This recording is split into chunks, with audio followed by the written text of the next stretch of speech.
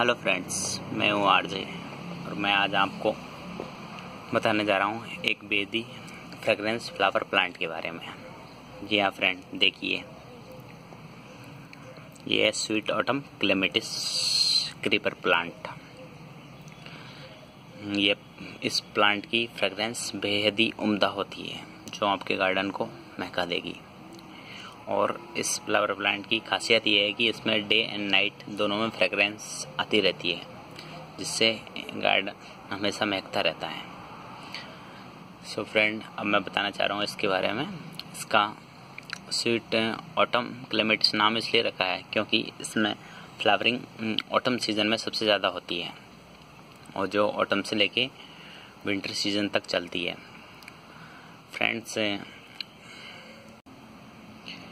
ये to type से बनाया जा सकता है। जैसे मैंने इसको तो बुश टाइप में बना रखा है तो ये ज़्यादा बढ़ेगा नहीं बुश टाइप में फैलता जाएगा। दूसरा प्लांट मेरा देखिए फ्रेंड ये ये क्रीपर प्लांट बेल टाइप में बना हुआ है, जो बढ़ता ही जा रहा है, और इसमें फ्लावरिंग अभी आ नहीं रही। तो फ्रेंड इसमें फ्लावरिंग के लिए इसमें कटिंग करते रहना चाहिए। कटिंग के बाद नई नई ब्रांचें फूटती है, जिससे फ्लावरिंग ज़्यादा से ज़्यादा आती है। और फ्रेंड मैं एक प्लांट का और तीसरा प्लांट और मेरे पास इसका ही। ये रहा फ्रेंड इसमें फ्लावरिंग भी आ रही है। और देखिए, इसमें नई ब्रांचेज भी निकल आई है, देखिए, इस मौसम में। रेनी सीज़न चल रहा है अभी फ़िलहाल। नई नई ब्रांचेज निकलती आ रही है इसमें। और कटिंग करते रहने से इसमें फ्लावरिंग और ज़्यादा आती है। तो फ्रेंड इसकी टाइम टू टाइम कटिंग करते रहना चाहिए। आइए फ्रेंड अब बात करते हैं हम। बात करते हैं फ्रेंड अब हम इसकी केयरिंग के बारे में। तो फ्रेंड इसमें हमको rainy season and autumn season में अधिक फ्लावर प्राप्त करने के लिए इसकी हमें समर में मल्चिंग करते रहना चाहिए।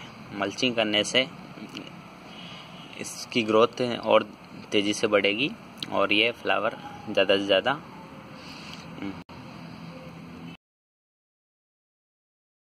फ्लावर ज़्यादा से ज़्यादा जनरेट करेगा। सो so फ्रेंड अब बात करते हैं हम इसको। इसकी वाटरिंग कैसे होनी चाहिए? सो so फ्रेंड इसको भी अन्य प्लांट की तरह well drain soil and well drain pot की ज़रूरत होती है। इसमें पानी इकट्ठा नहीं रहना चाहिए ताकि इकट्ठा रहने से इसकी जड़ें गल सकती है। सो so फ्रेंड हमें इस चीज़ का ध्यान रखना चाहिए। अब बात करते हैं अब इसमें अधिक फ्लेवर प्राप्त करने के लिए हमें कहना चाहिए। सो so फ्रेंड हम इसमें N P K nineteen nineteen nineteen का यूज़ करना चाहिए। जिससे फ्लेवरिंग इसमें ज़्यादा से ज़्यादा आती है। इसमें मैंने नाइनटीन नाइनटीन तो फ्लेवरिंग बहुत बढ़ गई है और डे टू डे बढ़ती जा रही है।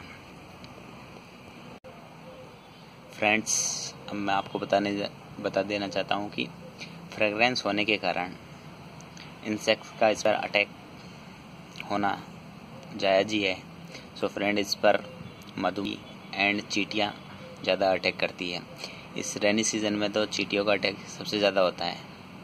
सो so फ्रेंड हमें फंगीसाइड का भी यूज़ करना चाहिए इसमें, ताकि स्प्रे कर देना चाहिए उसका इंसेक्ट्स से अपन फ्लावर्स को बचा सके। सो so फ्रेंड्स आपको मेरा वीडियो अच्छे लगे तो मेरे चैनल को लाइक एंड सब्सक्राइब करना ना भूलें। एंड इसी प्रकार से मैं आपको नए प्लांट से रूबरू कराता रहूँगा। Thank you